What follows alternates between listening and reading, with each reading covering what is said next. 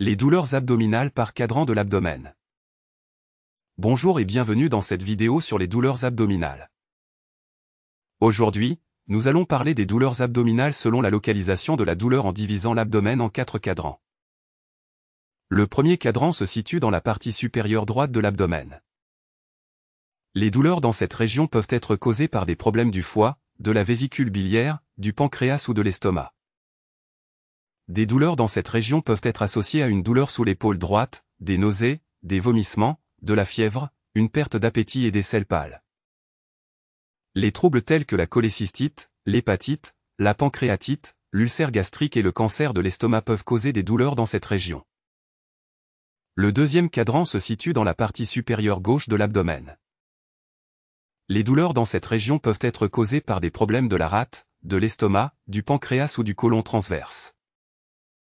Des douleurs dans cette région peuvent être associées à une douleur sous l'épaule gauche, des nausées, des vomissements, de la fièvre et une perte d'appétit. Les troubles tels que la pancréatite, l'ulcère gastrique et le cancer de l'estomac peuvent causer des douleurs dans cette région. Le troisième cadran se situe dans la partie inférieure gauche de l'abdomen. Les douleurs dans cette région peuvent être causées par des problèmes de l'intestin sigmoïde, de l'urtère gauche, des ovaires ou des trompes de Fallope chez les femmes ou de la prostate chez les hommes.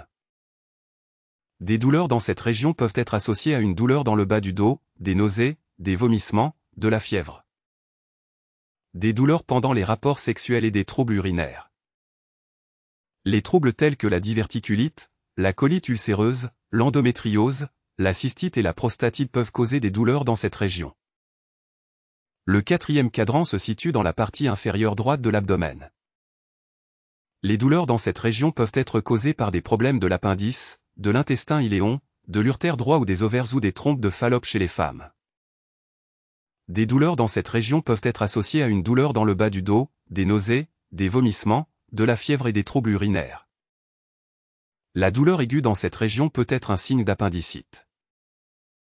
En résumé, la localisation de la douleur dans l'abdomen peut être divisée en quatre cadrans. Les douleurs dans chaque cadran peuvent être causées par des problèmes différents, allant des troubles mineurs à des maladies plus graves.